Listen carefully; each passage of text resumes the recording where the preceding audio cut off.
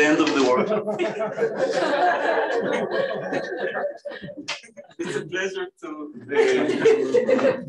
uh, have uh, Ron go through the background, tell us about multi-collision resistance implying. Thank you, Yuval. Uh, now I'm forced to think of some black holes uh, somewhere in the presentation. We'll see if it comes up or not. Um, okay, so hi everyone. Uh, great to be here and thank you to the organizers for organizing this wonderful event and, uh, and inviting me.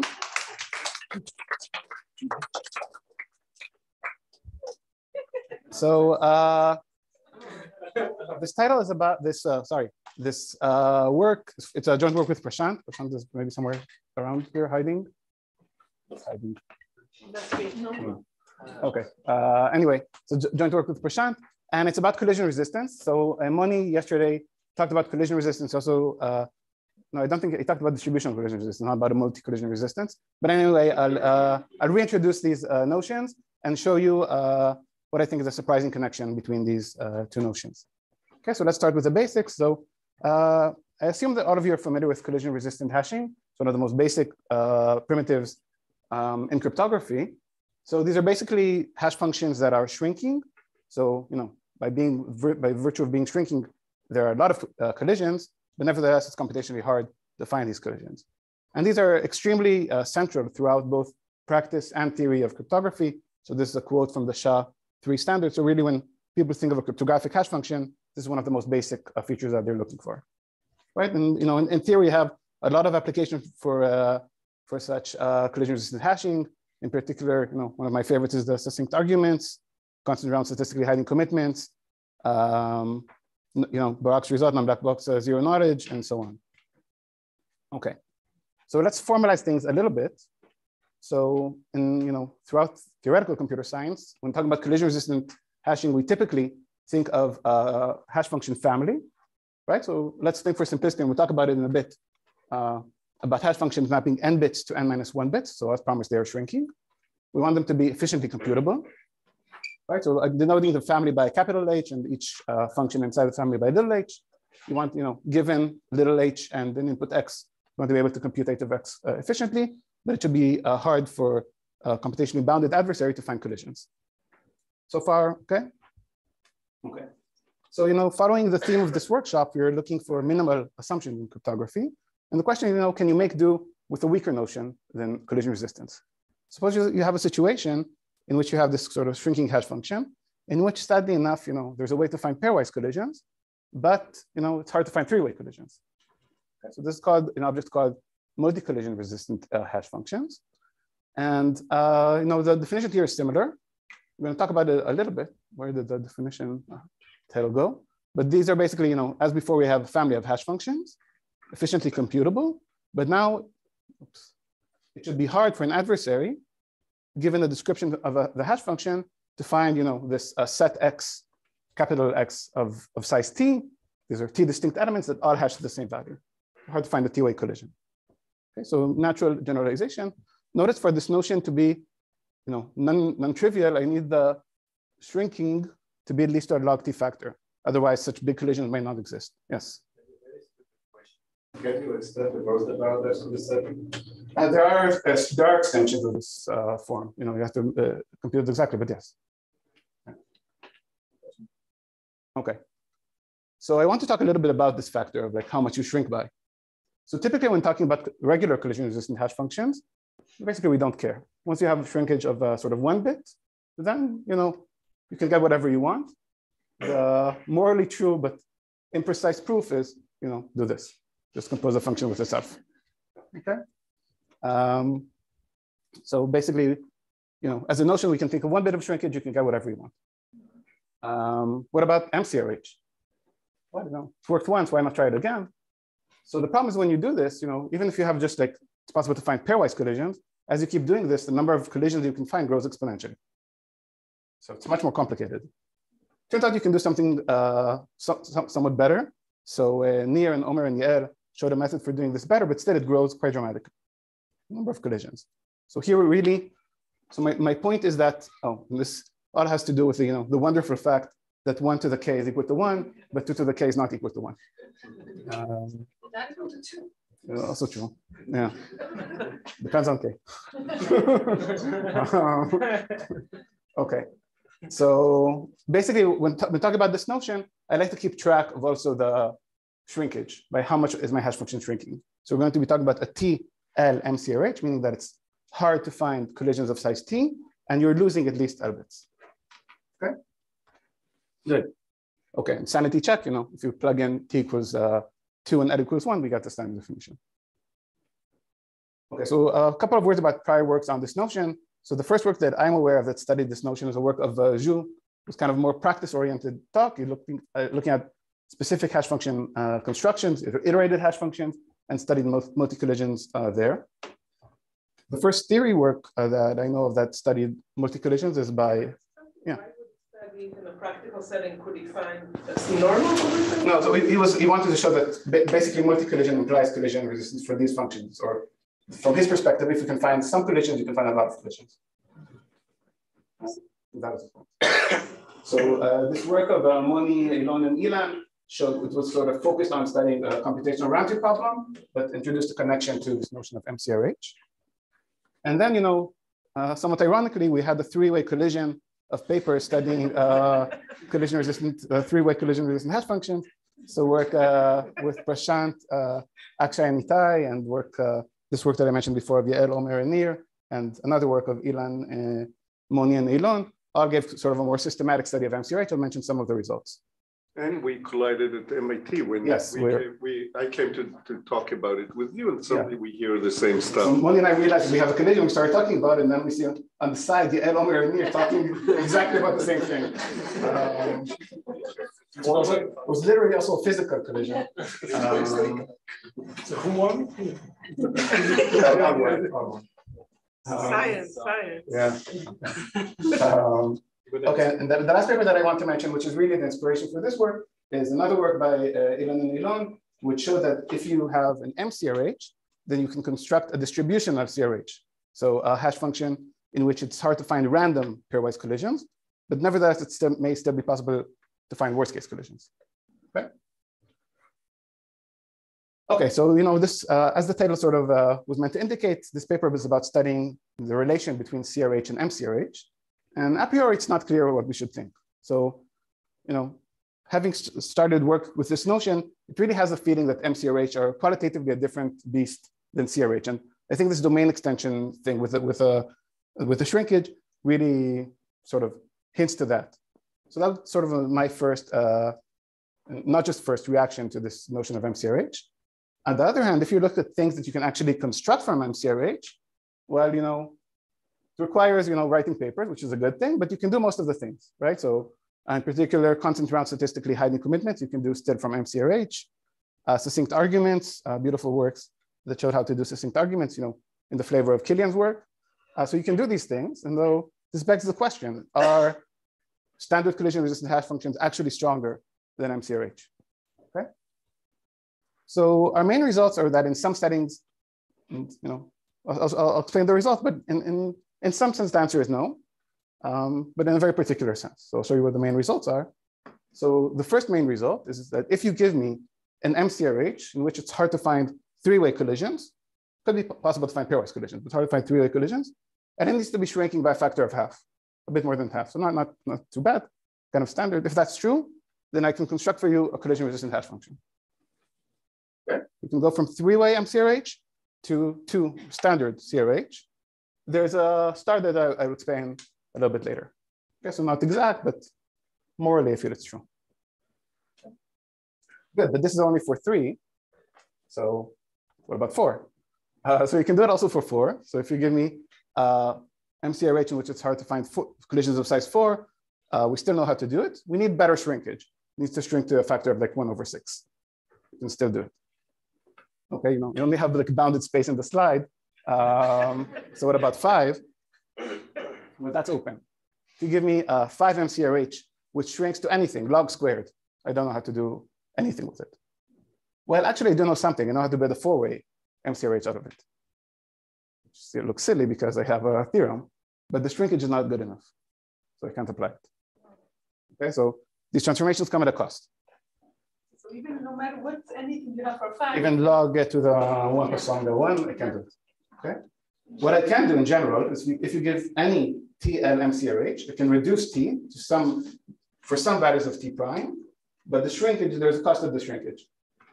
Okay, it's a terrible formula. I won't show to you what it is, but just to give the flavor, if you give me, you know, an MCRH of like hard to find the size 100 collisions, which shrinks uh, to like one over 10, then I can bid from it one, which is hard to find collisions of size 50, which has, uh, you know, shrinks to uh, 40%. Questions? Escuchas mm-hmm. how do you just use that Perwin Perwin in hashing? No. No. No. Second. Yes. So, you go from 100 to 50, or you can go to anything between 100 and 50. I can go to 100. I mean, once you have like uh, 50, it's also 51, 52. Sure, yeah. but okay, 45, something like that. Um, depends. It's a terrible formula and uh, and I need to plug it in and see. Yeah. These are unconditional, right? Yes. And anything. I mean, they're conditional in, in run sense. Uh, and, All of crypto is unconditional and Anything runs. else that can help us achieve this? uh, Anything sub CRH which can help us? I don't even have a, like a, a, do you have a candidate idea? I'm not sure. This one. Yeah, no, I don't know. This is really about studying, you know, MCRH versus CRH. What can you use? Um, You were saying something to him about the formula is complicated, but in general, it works for any T and T prime. Yes. You go from No. hundred to. No, no, no. For example, like I don't know how to go from five to uh, four. Yeah, you can, but the I can, but the shrinkage shrinkage is will bad. be- Like the formula applies for every T and L, but maybe Yeah, at some point it becomes No, trivial. if, if you go from, from five to two, then it just won't be shrinking. Yeah, got it. So it works for anything, but at some point it doesn't shrink. And my other question for five, do you have any like intuition or barrier? Yeah, or so we have a barrier. So our, our, our proof technique, and even a generalization of it will not work. Okay. Um, it, it is, but it is pretty specific to our proof technique. Yeah, so there's no barrier like black box barrier that you can go from here. No. No, but, but that is open. Is But, but you should be, be, be aware- be aware of black box barriers. We'll see in a second. It, it doesn't shrink just in the sense that the output is, is not short? I mean, is it, does it still have collisions or do you just get a function? I. Get something that is not shrinking. We didn't check uh, how the collisions behave. It's interesting. Try to try to then uh, hash or something. Uh, I would assume that you know there are collisions. I don't know. Good question. Is the barrier to getting to two threads is the same or different than the barrier that you get to the place to, to, to the place where you can start the extending the domain or whatever, extending the streak? No, for like even though extending the domain even for three is really hard. You lo- you lose a lot. But you can go to two and then you can extend there, right? Yes, But- that, that, I can do, uh, but But- that, that sort of, I, I can only do the domain extension really at two. I can do see. something, but So the question, is, the, Yeah. the barrier for domain extension is Get to two. uh, basically get to nothing two. more better than So that. what you could uh, hope to do, so this sort of transformation is something that reduces T, but increases L. You might want to try to alternate. Right, Uh, we tried and we did not succeed. I see. Uh, do we have a guess towards like a this question? Like, do you believe the answer is like yes or no? I believe the answer is, is interesting. but, um, Believe that both exist, right? yeah, that's true. No, but uh, you know, Did you try to use IL? What's the star? sorry, What's the star? the star. Ah, in a second. I will. I will say. Okay, the other question is, uh, what should we need CRH? No, for, for- at least for the killer apps of CRH, MCRH suffice. So like, for example, Kilian's protocol, there is you know, a much more complicated analog that works with MCRH. So is there any app that you don't know? Um, you know, like concrete apps, you know, file storage, you, you, post your file on the cloud, you want to make sure you download, you get the same thing. You, you, if it's a CRH, then you're very happy, you're gonna get the same thing. It's an um, a bit. But you know, they can probably solve that with more tricks, but. Um, okay, so I want to show you like the bird's eye view of the result, and that will also explain the star of how we do. Okay? So actually, let's talk about what we don't do. What we don't do is not use a standard cryptographic reduction. So what is a standard cryptographic reduction? How does usually cryptography work? Well, if we're trying to build a primitive B from primitive A, in our case, a CRH from MCRH, what do you do? Well, you take your primitive uh, A, you use it, you throw in some algebra or combinatorics or some clever tricks. Typically, the way that uh, your construction of B uses A is as a black box, right? Just query. Then, okay, you're happy you have the construction, but you also want the security proof. The way that that works is that you take, you consider some adversary for your for this construction, and you show that you can use such an adversary to get sort of this green adversary for the original construction A. And typically also the, the way that the uh, green monster uses the red devil is as a black box. And they also use the original primitive A as a black box. And this, you know, most constructions in cryptography follow this route. It's called the fully black box reduction. Our construction is not going to be of this flavor. So at the high level, and this is really following Elon and Eylon's paper, here's our approach. So we start off with an MCRH trying to eventually get a CRH. What we're going to do is to build a candidate CRH. It's a candidate. Uh, two options, either it's good or it's not good. Oh, and, and this candidate uses MCRH as a black box. It's regular. Either it's good or it's not good. If it's good, you know, I'd have to end the talk early. So let's assume that it's not good. Uh, but if it's good, then we're done. If it's not good, then there is an adversary, right? There's someone who breaks this candidate CRH. So what I'm going to do is to use this adversary in order to construct a different CRH. So given this adversary, I'll construct a different CRH. This CRH will use the adversary as a black box and the original MCRH. And the fact that it's an adversary for this candidate CRH will make this CRH secure. Yes. This analogy of the square root of two, the square root of two example. What, sorry? Square root of two, the square root of two example. I'm not If sure. you, you want to prove if Root two to the root two to the root two to. Yes, to- yes, that root example. two, One of them is. uh, The root two, the root two, you want to show, But we know there. you want to show that as a ra- a rational number such that if you put it in the rational power gives you a rational number. That's kind of the same argument. You take square root of two, the square root of two. If it works, great. As you said, if it doesn't work, you add another square root of two. Kind, I mean, it's chill. I could. One of them is- Same analogy. Did you think about that? No, I did not. Um, okay, more questions? Could be uniform. Sorry? I got it. No, so uh, I'll talk about uniformity in a second. Okay.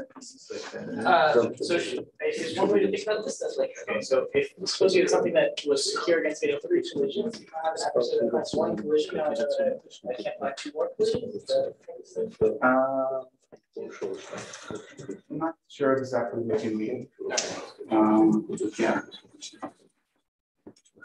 Okay, so I, I want to talk about uh, point. So some repercussions of this proof technique. So it's nice. I think it's an interesting proof technique, but it has some, you know, uh, repercussions, but caveats. I think of it just as like more interesting stuff.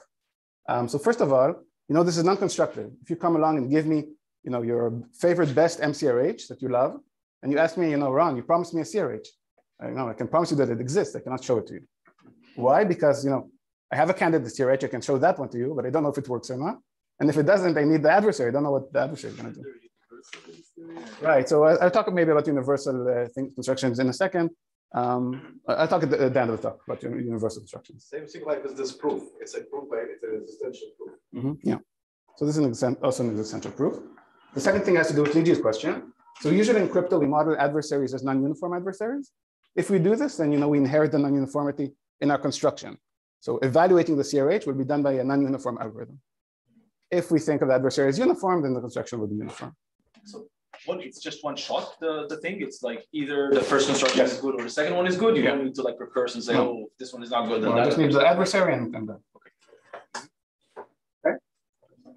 And that is a big family because the second one might, uh, has a call to an adversary. Has a call to that adversary. If I wanted to enumerate, like, here's all the list, one of them works, that's a big Yeah, I list. think that there could be different adversaries and it's, uh, yeah. There's no a priori polynomial down. Yeah. yeah. Okay, and the last thing is, you know, if we're talking about standard cryptography, you know, um, we have we want big security everywhere, but that will mean that the, the potential adversary only works infinitely often. But that means that our construction also only works infinitely often. But when it doesn't, it's uh, your original thing is good. So if you have a combiner between these two things, then Yeah, I I don't know how to do that. You need to know the. Um, because you, for every input length you don't, it's like uh, Yeah, it's more complicated. Okay. Um, more questions? Okay. So Shafi, back to your uh, question, the star is about being infinitely often and then uniform and you know non-constructive, but that's uh okay. So I want to show you uh, you know it was the bird's eye view. Let's see how it's done. Okay. Um, The next one is going to be an elephant. yeah, yeah. Okay, so let's focus on the basic theorem, how we go for, for starters from a 3M CRH to a 2M CRH, regular CRH. So we'll start off with our uh, you know hash function family H. Let's assume that it's a 3M CRH with this uh, L bits of shrinkage that disappear. And just uh, just to emphasize, I'm going to maybe uh, Iftach was asking, H itself might be an awful, awful CRH, right? It could have collisions baked into it, could even come equipped with a button that gives you random collisions, it could be terrible. Could try to do some sort of hashing uh, tricks, that doesn't seem to work. Um, but we will try in a sense. So what we're going to do is introduce another uh, function family G. It's going to be non-cryptographic. We'll see later what properties we need. This is uh, mapping, again, the same n bits as H to m bits. And I'm simply going to do concatenation. Okay, so given this family G, which I have not specified yet, we'll see what it needs to do later. Now to hash an input X, I just put output H of X, but I append also G of X. And I think of both H and G as the key to this, fam this uh, function family F. So far, so good? This, this, this that does have the flavor of a standard construction with a pairs independent hash or something like that. Okay, so you know the big question is: Is this construction secure or not? Well, M is small, right? Small. Yes, and I want this to be shrinking. So we need to we'll, we'll do that counting later on. This needs to be shrinking. But the question is, you know, is it a CRH? And you know, as before, if yes, we go home early. Uh, so let's assume it's not. Um, it means that there's an adversary. There's an adversary that breaks this candidate CRH. So what is this adversary doing?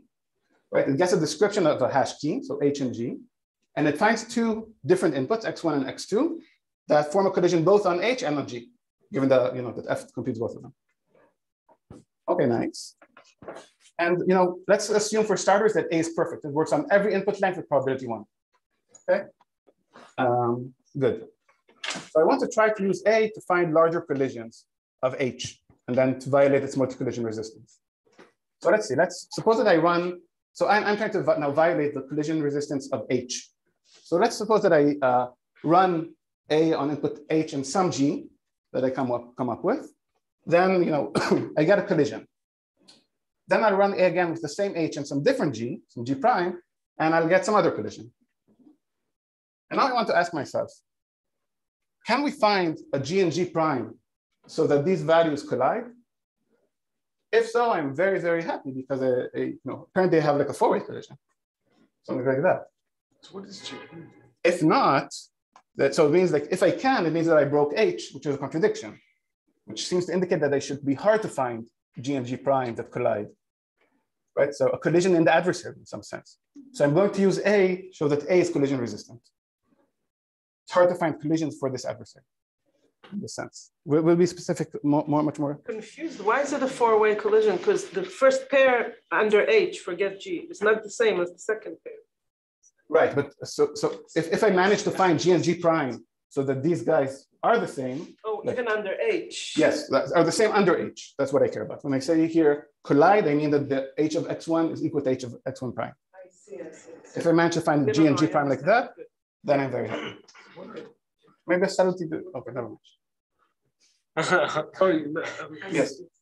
Again, can you repeat what is the role of G here? What is G? So G is, you think of it as an additional uh, input that the adversary gets. It information or something like that? Some, some additional information about uh, about um, X. Mhm. And I've assumed that you know you can find collisions here. Now I'm trying to run it um, Different. with different with different G's. I get different, you know, I should get different collisions. If I get the same one, then I'm very happy, but it should, which means that it should be difficult to find these. So API is deterministic or randomized. Sorry? The, the average A, do I assume it to be deterministic? Let's think of it as deterministic for now. It's perfect for probability one, so I just fixed points to zero. Um, a question?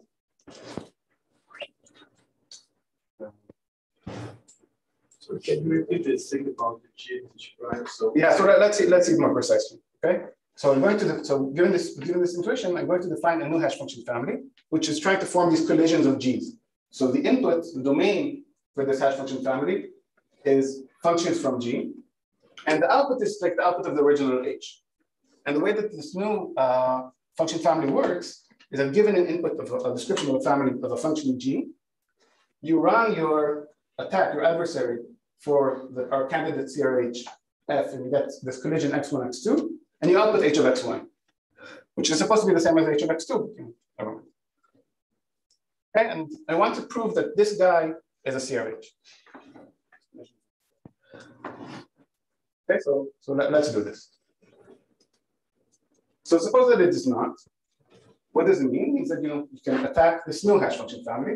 Its key is just H. Right? So now it means that given H, you can find the collision for this previous hash function family. So you can find G, which is different from G prime, so that their evaluation is the same. Meaning that the H of X1 that you get here is the same as the H of X1 prime that you get here. So let's sort of uh, see what this, what this tells us. Well, when we run A on input G, we get X1 and X2. When we run A on G prime, we get X1 prime and X2 prime. And we know because A works that you know X1 and X2 form a collision under both H and G. We know that X1 prime and X2 prime form a collision under both H and G. And we know because uh, of this, that H of X1 is equal to H of X1 prime. So putting this out together, you know, we have a four-way collision. We have H of X1 is equal to H of X2, equal to H of X1 prime, equal to H of X2 prime. And we didn't even to use need to use any property of G. None of them are none of them are the same. Ah, so that's exactly the issue, right? So our concern is, you know, if that's the justified concern is what if it's the same collision? So it's a it's a multi-set of size four, but is it actually a set of size four? And I, so that, that's what's worrying me, and I want to ensure that it's not the case, and that's where I'm going to use properties of G. So what do we know so far? So we know that G is different from G prime, but we have the G of X1 is equal to G of X2, and G prime of X1 prime is equal to G prime of, X, of uh, X2 prime. Wouldn't it be great if we could guarantee that for any distinct pair, X1 and X2, there's only one G on which they can collide?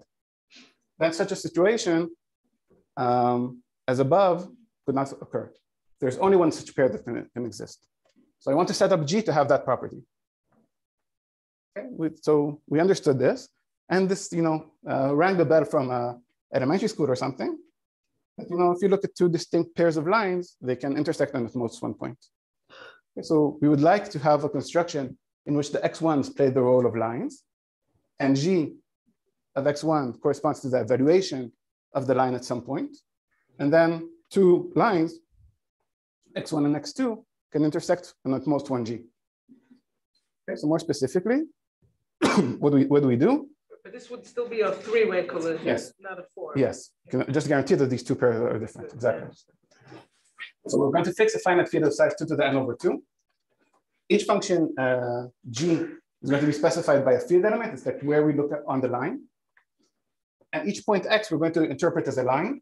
So you can think of it, you know, interpret it in your favorite way over this field as two field elements, say by coefficients. Okay. And then, you know, fun fact, if you look at any two distinct x1 and x and x uh, prime, these are degree uh, one polynomials, they can be the same at most one point. They're different. Be, to be exist at most one G on which they agree. Questions? Okay. So we found, as Tal was saying, we found a uh, three-way collision. Why? What do we know? You know, no, just this copied from the previous slide. All of this we know. But now I'm claiming that it cannot be the case, that like what Yiftach was concerned about, that these collisions are the same. Why? If they were the same, then uh, you know we have uh, both G and G prime, which uh, you know uh, these two lines intersect on uh, two points, both on G and G prime. Okay, so we found a three-way collision for H, but H is uh, you know three-way collision resistance, so we have a contradiction. Okay, questions? G, the output of G is very large, so right? Because you wanted to- So let's talk about this, the shrinkage. Yes. I guess I'm probably going to talk about this Can't you expand this trick? You start with a higher and going to lower, and then you're using like not a line parabola or a degree. Yes. That's what I meant.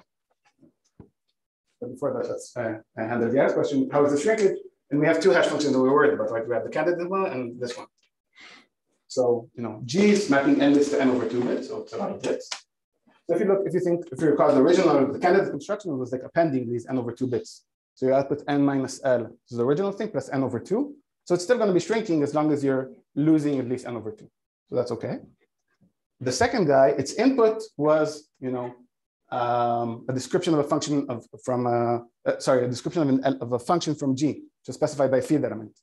So there are two to the n over two such guys, meaning that the size of the input for this candidate thing was n over two, and it was still outputting the n minus L things of the original guy.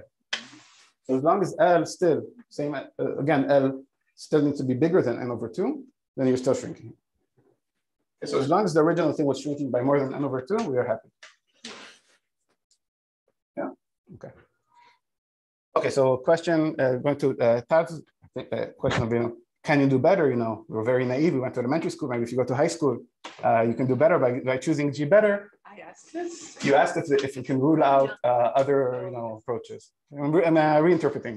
Um, so the answer uh, turns out to be no here, and um, you can show this by the singleton bound. They won't show it. Okay, so this uh, choice of G is essentially optimal here. Okay, so if you follow this blueprint. Okay.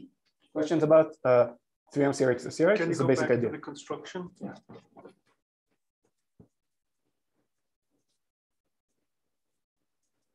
The analysis or the No, the, uh, where did we go?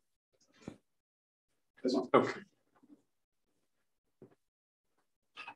So re really, we're trying to form to find collisions in A. How do you handle randomizing? Okay, so uh, first of all, if, if, if we think of like non-uniform adversaries, I don't need to worry about it. Did we? Uh, did we? Uh, I mean, in the in the actual paper, we just uh, did the non-uniform. I randomized. I'm expect it should not be a big deal, but uh, I'm not sure.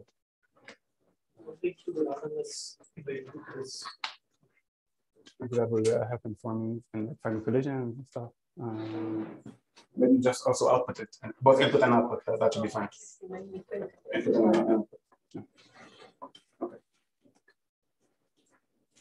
Okay. Okay, so I want to talk about uh, how am I doing on time?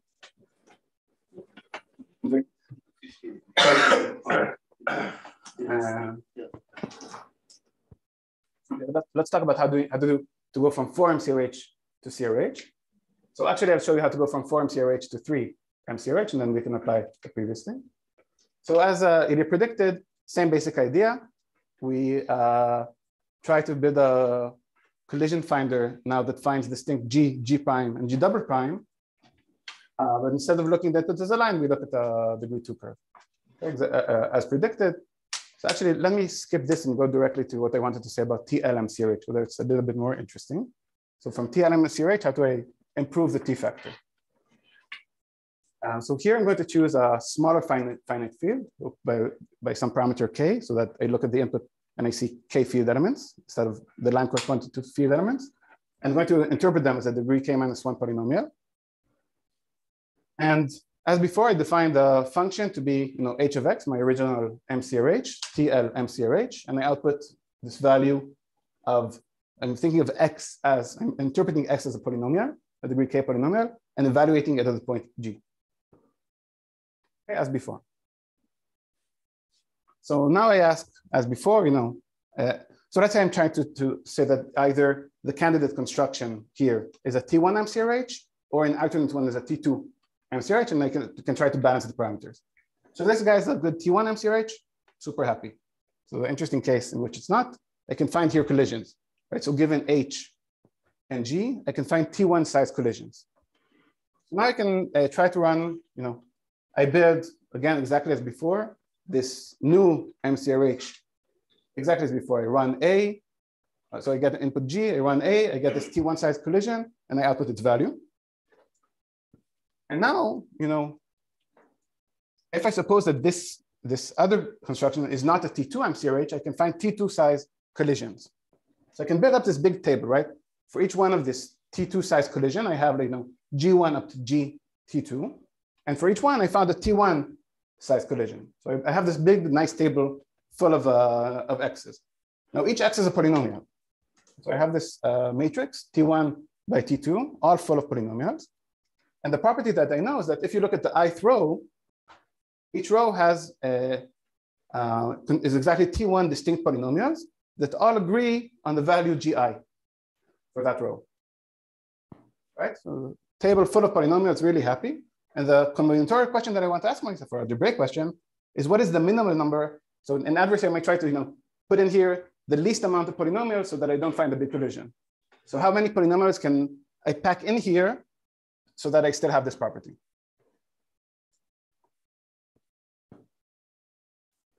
The question makes sense? Packing bound, you mean, right? Mm -hmm. Some sort of packing bound close on the way there. Uh, yeah, yeah, that's true. So we analyze this via Reed-Solomon list decoding. So the, point is, you know, if you fill, fill up this table and you look at them, you think of, you know, a function which gets all of these polynomials agree on G1 with some value. So think of a function that has this value here and this value here and so on. You get some description of a, of a, of a function. If, you know, the number of different polynomials here is very small, then overall it means that there are a lot of polynomials that agree with this function. But list decoding tells us that this cannot be the case. Okay, so this is why you know we have some not so nice formula um, based basically on this idea. This Reed-Solomon list decoding, it's, it's uh, related to your approach. If yes. there was a different approach using designs, for example, I will get uh, okay. So first of all, you can replace you can put any code that you want here, and we can use this list decoding to analyze this. Um, you don't get much better than what we get from uh, Reed Solomon. Yeah, maybe it's saying that there is a combinatorial instruction for design. Right. Maybe there are analogous results there. Yeah, we, we thought we thought via the lens of designs, but uh, right. Um, um, what did I want to say? Uh, but oh, maybe just emphasize, all we care here is about combinatorial decoding. We don't need efficient algorithm. Just how many polynomials can you plug in here? It's the goal of the adversary to find them. So like, questions? Okay. So, so far I was talking about, you know, perfect adversaries. I want to say uh, in the time that I have left, I want to, to talk about how we deal with, you know, imperfect adversaries. And there are various ways in which an adversary may be imperfect. So problem number one is that the adversary an adversary potentially may only succeed on an infinite number of input lengths. So I, I already told you how I solve that. I basically assume it away. So our resulting CRH is only going to be infinitely often secure. Right? If we get around that, it would be great, but we don't know how to. So that's one thing. More interesting, you know, the adversary that we assume for our candidate CRH, it gets an input H and G, and sometimes it works, it finds collision, sometimes it doesn't work. So let's first consider the case that it only works for a small fraction of the H's.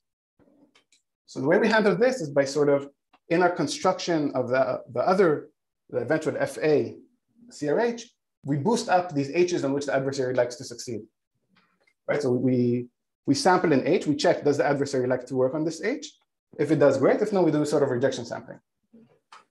The problem is that this sort of, uh, you know, what's the word? Um, sort of messing around with the probability space also messes uh, around with the success probability of the end adversary that we have, like mapping the end adversary that we have for FA to an attack on the original H, but we bound this effect. So it's, a, it's an effect by a multiplicative factor, which we can bound.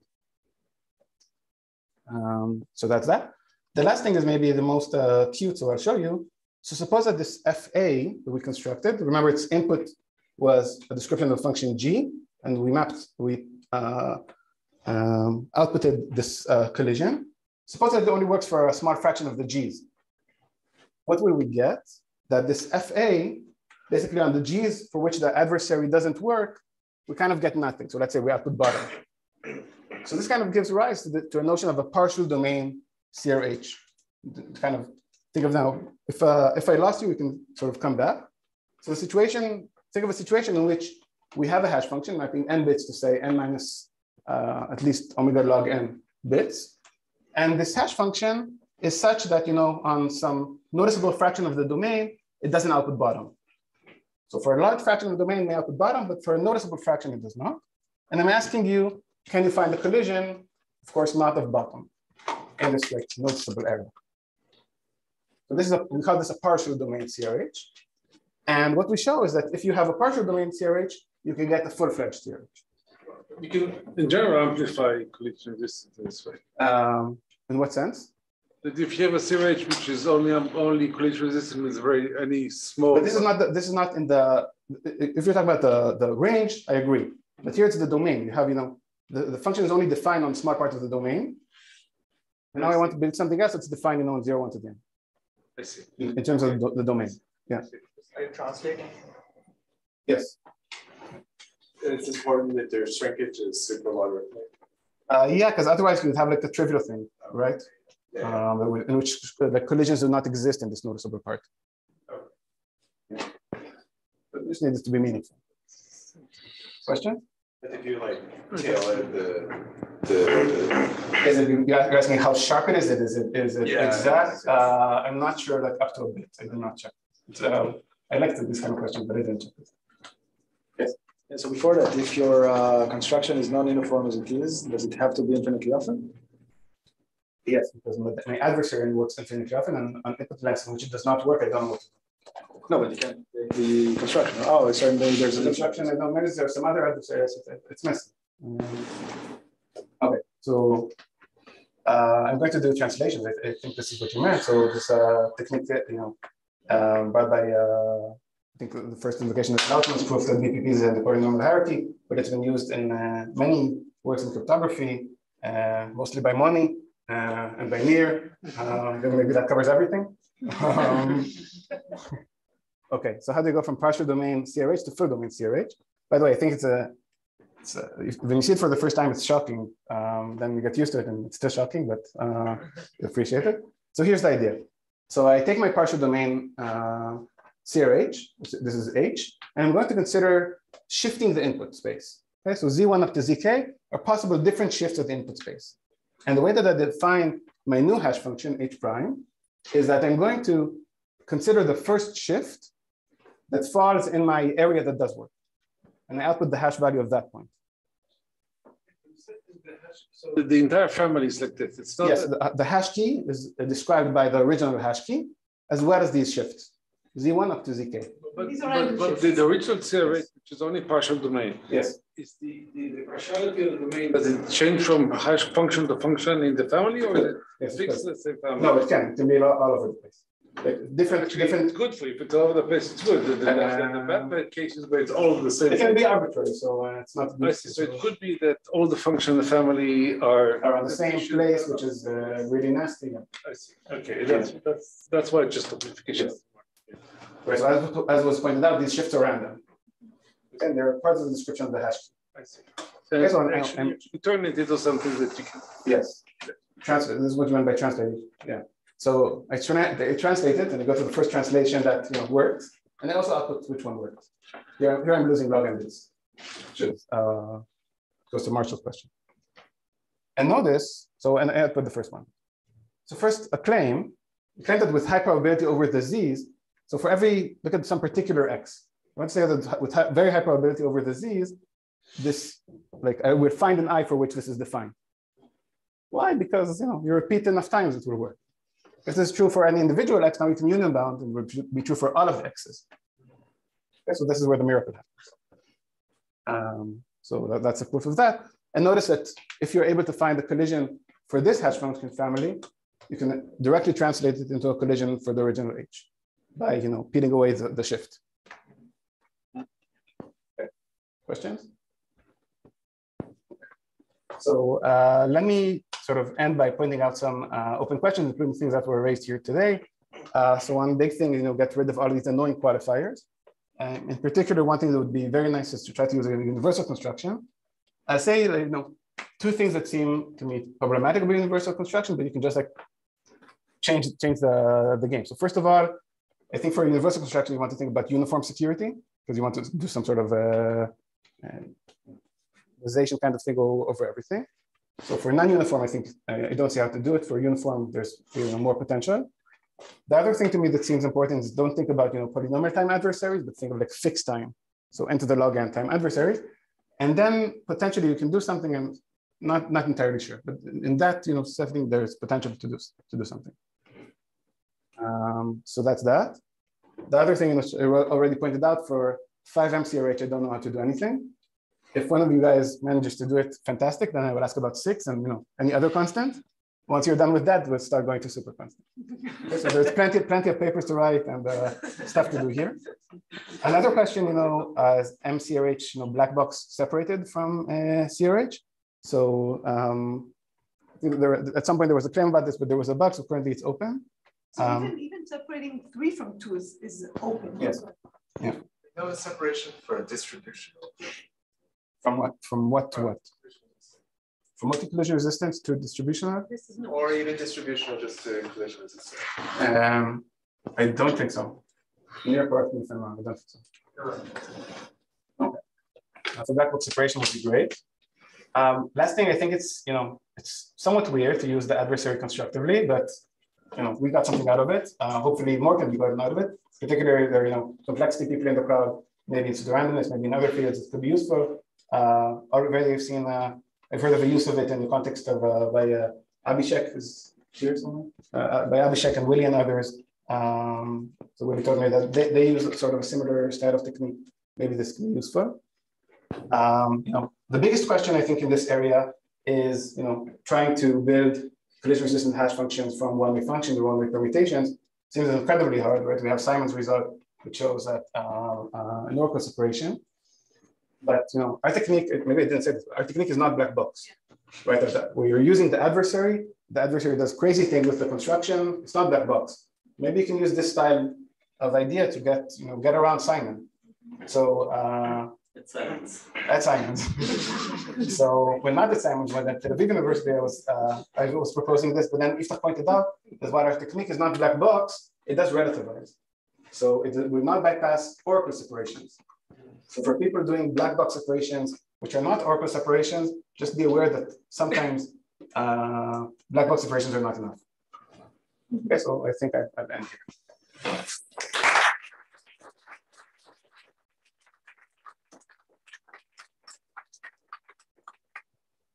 While Maji is setting up, we have time for tons of questions.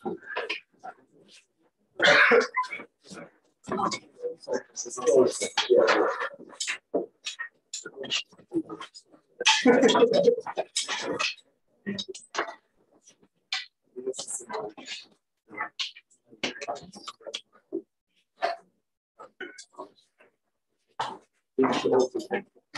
Yeah. So you always done?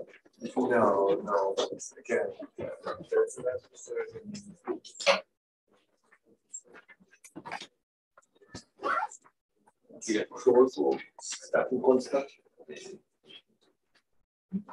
Yeah, it's, it's the problem is with the back one. So it should, I morally it should be, it should be able to get through.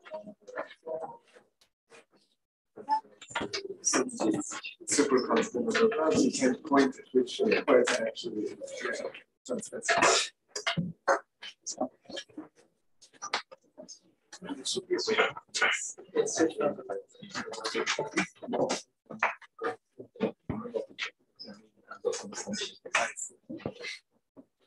Okay, so to conclude the classical part of the something really classical should be done even before it was invented.